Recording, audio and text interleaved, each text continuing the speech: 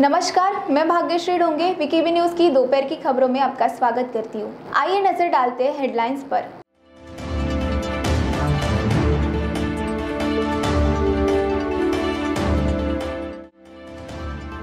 मुख्यमंत्री उद्धव ठाकरे के समर्थन में शिवसैनिकों का नागपुर में आंदोलन, भाजपा के खिलाफ की जोरदार नारेबाजी।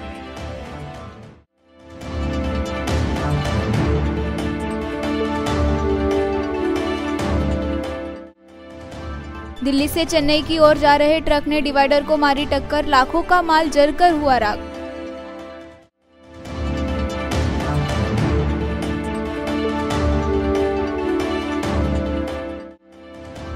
और नाबालिग छात्रा पर रेप कर की उसकी हत्या, मोदा पुलिस द्वारा, आरोपी गिरफ़्तार।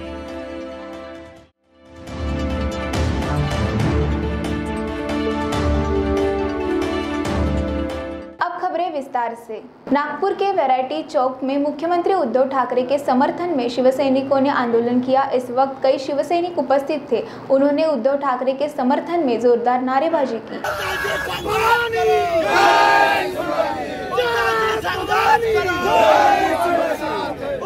संघर्ष करो। हम तुम्हारे साथ हैं।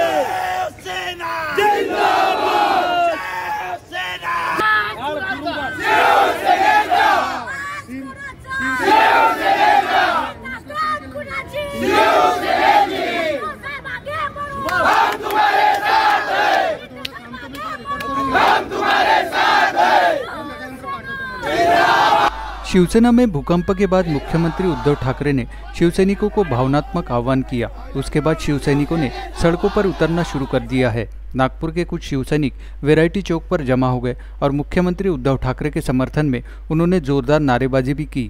दूसरी ओर उन्होंने भाजपा के खिलाफ नारेबाजी और देशद्रोह कहकर आंदोलन शुरू कर दिया। उन्होंने कहा कि हम सब शिवसैनिक पार्टी प्रमुख के साथ है और इन कार्यकर्ताओं ने आश्वासन दिया कि वे उद्धव ठाकरे के साथ रहेंगे।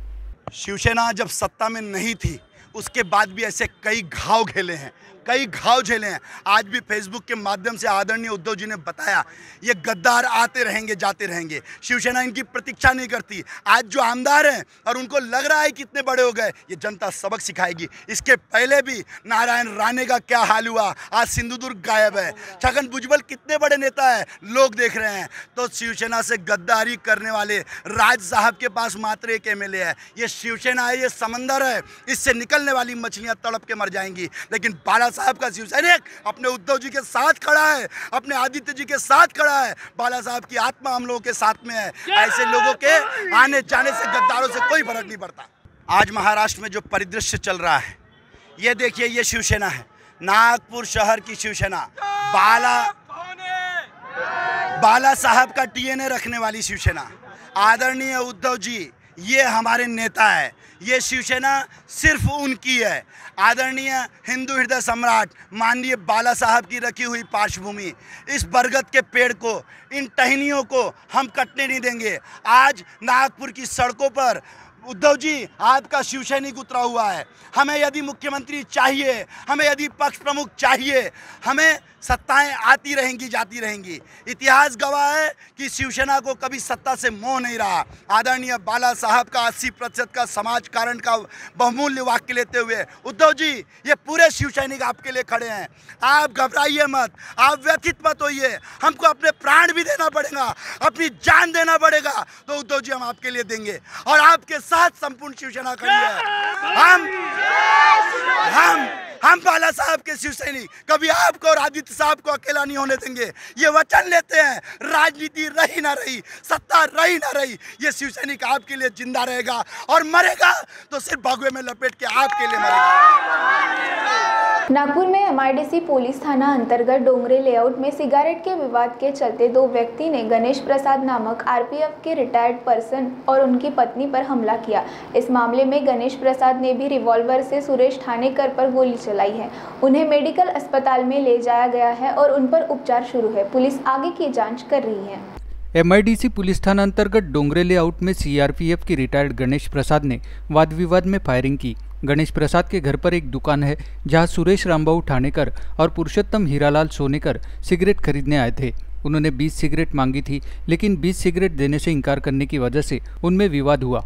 थोड़ी देर बाद वह दोनों व्यक्ति दुकान में वापस आए और डंडे से गणेश प्रसाद की पत्नी चिंता देवी पर हमला किया और जब पत्नी को बचाने गणेश प्रसाद आए तो उनके भी सर पर वार किया। इसी वजह से गणेश प्रसाद ने रिवॉल्वर निकालकर सुरेश ठानेकर के कंधे पर गोली मारी। इस मामले में सुरेश जख्मी हुए हैं और उनका मेडिकल में उपचार शुरू है, जबकि गणेश प्रसाद के भी सर पर वार करने से वे जख्मी हुए हैं। आगे की जाँच पुलिस द्वारा की जा रही है। वीके बी न्यूज़ के लिए कैमरा पर्सन रोशन बोकड़े के साथ वैदेही चौहान की रिपोर्ट। स्वास्थ्य नगर डोंगरे लेआउटमध्ये गणेश प्रसाद नावाचे इसम आपल्या परिवारासोबत राहतात त्यांच्याकडे एक दुकान आहे. त्या दुकानामध्ये सकाळी दोन इसम आलेले होते. सुरेश रामभाऊ ठाणेकर आणि पुरुषोत्तम हिरालाल सोमेकर हे दोघंजण त्या ठिकाणी आले होते आणि त्यांनी सिगरेटची मागणी केली. त्या वीस सिगरेट द्या असे म्हणून. ते म्हणे वीस देणार नाही एक सिगरेट देणार. याच्यावर त्यांची शाब्दिक बचाबच झाली आणि ते नंतर चालले गेले. परत पंधरा मिनिटांनी हे दोघेजण ते दुकानामध्ये आले. आणि दुकानामध्ये आल्यानंतर त्यांनी हातामध्ये एक विडा आणलेला होता आणि एक दंडा आणलेला होता. त्यांनी ते दुकानदार जे जी महिला होती या गणेश प्रसादची मिसेस चिंता देवी तिला मारहाण केली. मारहाण केल्यामुळे तिचा नवरा धावत आला. तिच्या नवऱ्याला मग त्यांनी त्या विड्याने मारल्या डोक्यावर मारलेला आहे. आणि मग तो घरात गेला आणि हा सी आर पी एफ की इथून रिटायर्ड झालेला इसम आहे. यांच्याकडे एक लायसन्स एक बाराबोर आणि एक रिव्हॉल्वर आहे. मग तो ग रूममध्ये गेल्यानंतर त्यांनी रिव्हॉल्वर आणली आतमधल्या रूममधून आणि मग त्यांनी त्याला फायर केलं. त्याला त्या खांद्यावर जो ठाणेकर आहे त्या इसमाला खांद्याच्या बाजूला गोळी लागलेली आहे. तो जी एम सीला ॲडमिट आहे. त्याची तब्येत एकदम चांगलेली आहे. आणि तसंच याला जो मार डोक्याला लागला होता हा सुद्धा तिथे लता मंगेशकरच्या हॉस्पिटलला ॲडमिट आहे. सध्या त्याची पण प्रकृती ठीक आहे. हा पतीलाही मार लागलेला आहे. पतीला डोक्यावर विड्याने मारलेला आहे. आणि पत्नीलाही रॉडनी म्हणजे रॉड की ल- दंडा होता. त्याच्याने मार लागलेला आहे. तिला काही अशी विड्याची जखम नाही आहे. आणि जे जो आरोपी होते मारायला लागला त्याच्यावरती रिव्हॉल्वरने गोळी मारली असल्यामुळे त्याच्या खांद्याला ती लागलेली आहे. आणि सध्या प्रथमदर्शनी तर दोनच आरोपी दिसत आहे. यांच्या घरी आता सी सी टी व्ही लागलेला आहे. त्याच्या माध्यमातून आपण चेक करू की किती आरोपी होते म्हणून. जितके आरोपी असतील ते सगळे आरोपीवर कारवाई होईल. वाद सिगरेटवरून झालेला होता. सकाळी सकाळी साडेआठ ते अंदाजीची घटना आहे. सिगरेट घ्यायला आले होते. त्यांनी वीस सिगरेटची डिमांड केली असं त्यांचं म्हणणं नाही. ते गणेश प्रसादचं. पण ॲक्च्युली आता दोघाही लोकांना आम्ही विचारपूस करत आहे. त्यांच्या ज्या गणेश प्रसादनं ज्या पद्धतीने सांगितलं आहे त्या पद्धतीने मी तुम्हाला सांगत आहे. अनुसूचित जाति के प्रशिक्षणार्थियों के लिए कन्हान में आज बुधवार 23 जून को महाराष्ट्र उद्यमिता विकास प्रशिक्षण कार्यक्रम का उद्घाटन समारोह नगर परिषद के नए प्रशासनिक भवन में आयोजित किया गया है। कन्हान में महाराष्ट्र सरकार के सामाजिक न्याय और विशेष सहायता विभाग की एक स्वायत्त संख्या डॉक्टर बाबा साहेब आम्बेडकर अनुसंधान और प्रशिक्षण संस्थान, बार्टी, पुणे प्रायोजित महाराष्ट्र उद्यमिता विकास केंद्र एम नागपुर की ओर से उद्यमिता विकास प्रशिक्षण कार्यक्रम का उद्घाटन समारोह आज बुधवार 23 जून को नगर परिषद कनान के नए प्रशासनिक भवन में आयोजित किया गया। इस अवसर पर नगर परिषद की महापौर करुणा अनिल राव अष्टनकर उद्घाटन वक्ता के रूप में उपस्थित थी। साथ ही श्रीकांत कुलकर्णी, परियोजना अधिकारी, नागपुर जिला उद्योग केंद्र को अध्यक्ष नियुक्त किया गया। आज के प्रशिक्षण कार्यक्रम में मुख्य अतिथि के रूप में उद्यमी प्रशिक्षक श्री संदीप देशमुख, सुरभि नागपुर उपस्थित थे। प्रशिक्षण कार्यक्रम में अनुसूचित जाति वर्ग के प्रशिक्षु बाल्टी द्वारा गठित युवा समूह के सदस्य उपस्थित थे। कार्यक्रम की शुरुआत रामटेक तालुका समतादूत राजेश राठौड़ ने की, जबकि मौदा तालुका समतादूत ओम प्रकाश ढोके ने कार्यक्रम का संचालन किया। 23 जून को सुबह करीब 6 बजे पारशिवनी तहसील में बोरडा के पास राष्ट्रीय राजमार्ग पर दिल्ली से चेन्नई की ओर इलेक्ट्रॉनिक सामान लेकर जा रहे ट्रक ने टोल नाका के सामने डिवाइडर से टक्कर मार दी और लाखों का माल जल गया। हालाँकि इस घटना में कोई जीवित हानि नहीं हुई है।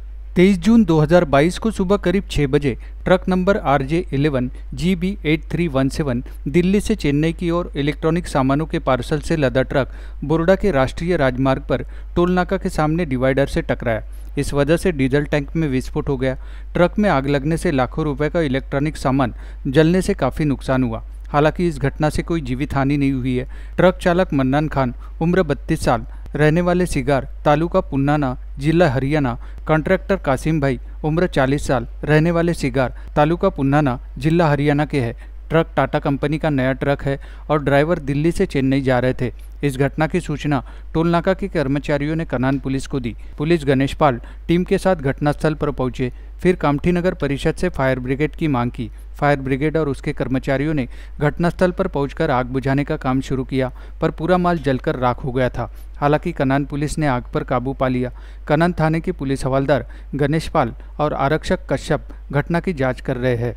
खबरों के सिलसिले में वक्त हो चला है ब्रेक का। मिलते हैं ब्रेक के बाद।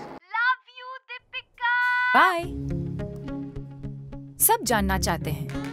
मेरा फेवरेट कलर मेरा फेवरेट डेस्टिनेशन मेरी फेवरेट डिश पर कोई ये नहीं पूछता कि फेवरेट डिश मैं बनाती कैसे हूँ। अरे यार जिसे टेस्टी खाना पसंद है वो अच्छे टेस्ट तक पहुँच ही जाता है। सुरुचि मसाले। खाने में हो रुचि तो घर लाइए सुरुचि। अपने सपनों की उड़ान भरने की इच्छा तो हर किसी की होती है। पर पंख भी तो मज़बूत होने चाहिए। जो देता है Flywheel aviation academy Flywheel aviation academy एक ऐसा इंस्टीट्यूट है जहाँ पर एयरलाइंस एंड एयरपोर्ट हॉस्पिटैलिटी और टूरिज़्म मैनेजमेंट साथ ही यहाँ campus interview guidance by industry expert practical training at airport expert faculty personal grooming जैसे कई सारे बेनिफिट आप पा सकते हैं। Flywheel aviation academy one degree three job opportunities Flywheel aviation academy gives you a degree और diploma with a job Flywheel aviation academy 365 Gandhinagar LAD college square beside Karnataka bank Nagpur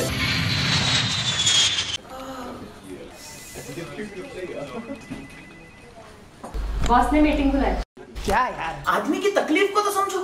बाहर बाहर उठो बैठो उठो बैठो। जनाब तकलीफ़ उठने बैठने की नहीं तकलीफ़ बवासीर की है। बवासीर, फिशर, भगंदर पाइलोनियल साइंस का आयुर्वेद तथा आधुनिक लेजर से उपचार। अभ्युदय पाइल्स लेजर हॉस्पिटल, लोहार समाज भवन के पीछे महापुष्प सोसाइटी, शताब्दी नगर चौक से मनीष नगर रोड, नागपुर। कॉल और विज़िट करें W W W dot piles www.pilesfistulacure.com break के बाद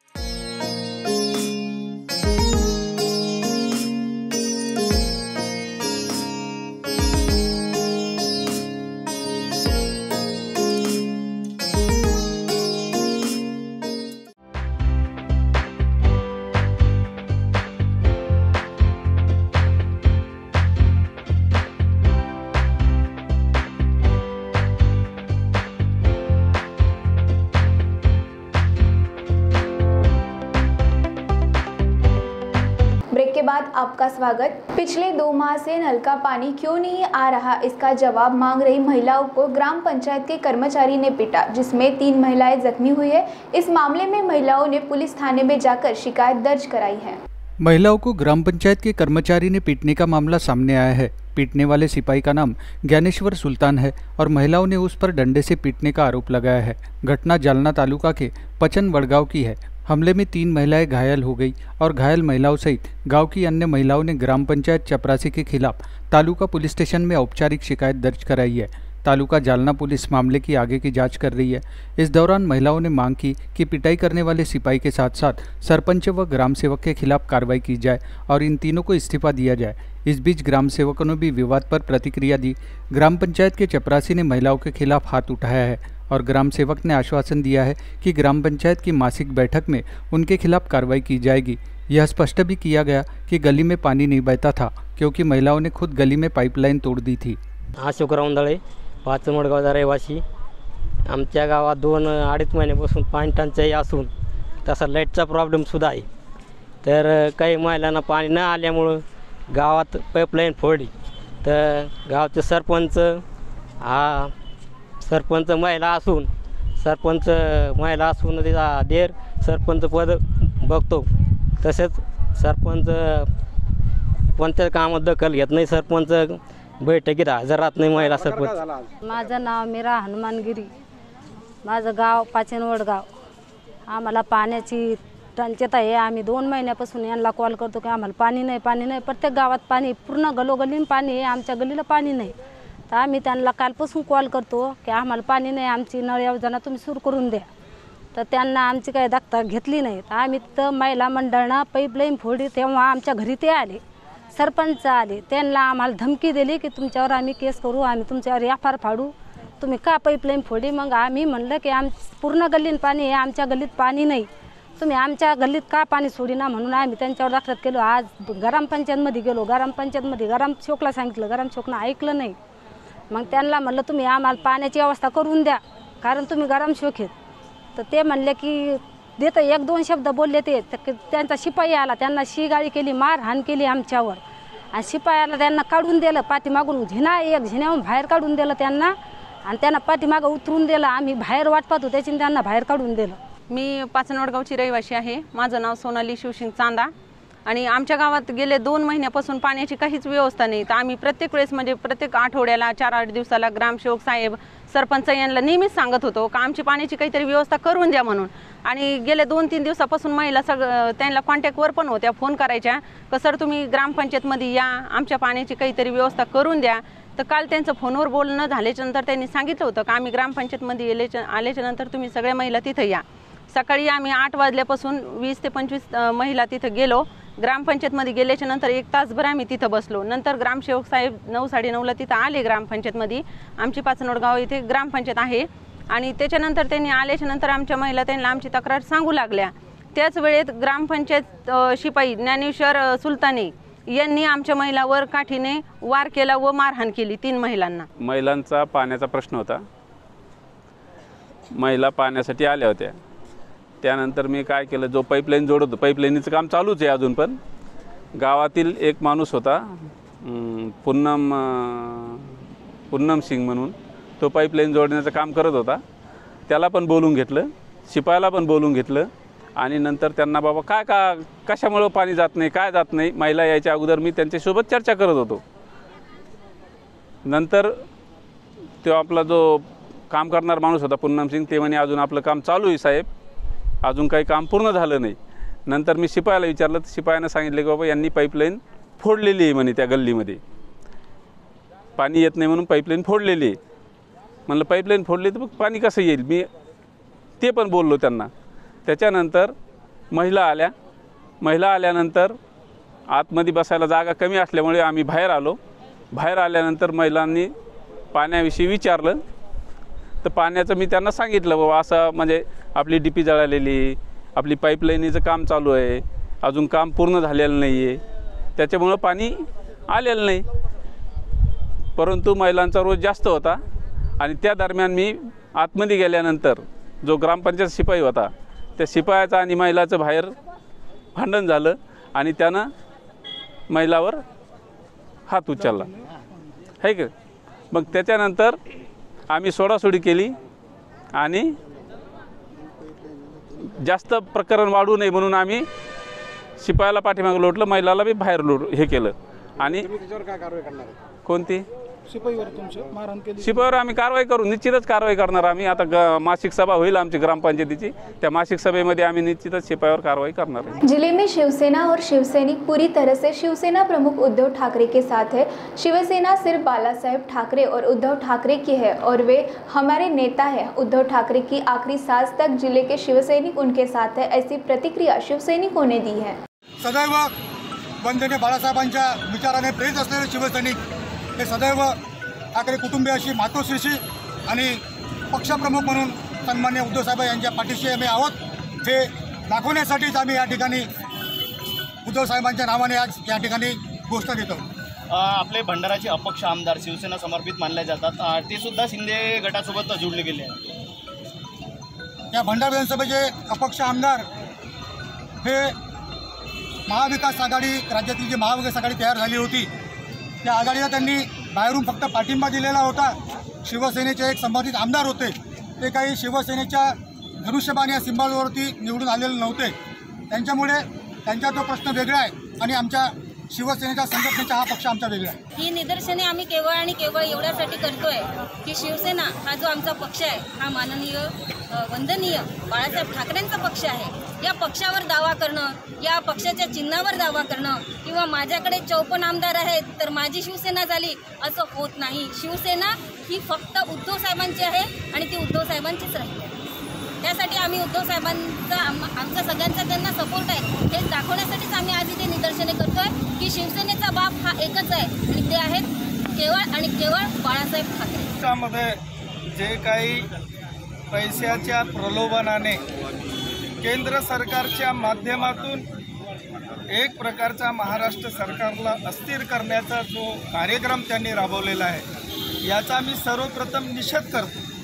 आणि शिवसेना ही भंडारा जिल्ह्यामध्ये संपूर्ण महाराष्ट्रामध्ये शहरामध्ये ग्रामीणमध्ये जी पसरलेली आहे हे शिवसेना फक्त शिवसेना प्रमुख माननीय बाळासाहेब ठाकरे यांचे विचार आणि त्यांचे कर्तृत्व आणि त्यांचे राष्ट्रवादाचे विचार याला प्रेरित होऊन हे संपूर्ण शिवसैनिक तेव्हाही त्यांच्या पाठीशी राहिले आजही आहेत समोरे राहतील.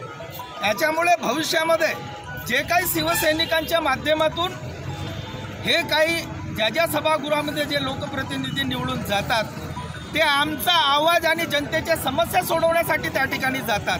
परंतु त्यांचा गैरसमज झाला असेल का शिवसेनेमुळे आम्ही निवडून येत नाही. आणि शिवसैनिक हे आमच्या पाठीमागे आहेत. तर मी या ठिकाणी सांगू इच्छितो की शिवसैनिक हा बाळासाहेबांचा आहे.